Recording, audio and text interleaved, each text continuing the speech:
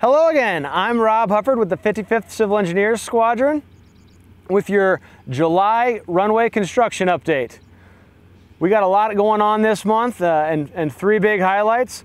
First one I'd like to point out is right behind me with the box culvert. Last month we showed you that they were placing them and they're pretty much done. All they have to do is a couple of final pieces of construction and take out the last, take out the old part and we're good. And big update number two for the month, they're laying concrete test strips on the mass parking apron.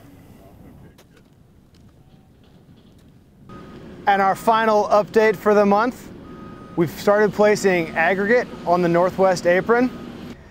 This is the last piece that goes in before we're allowed to start putting concrete down.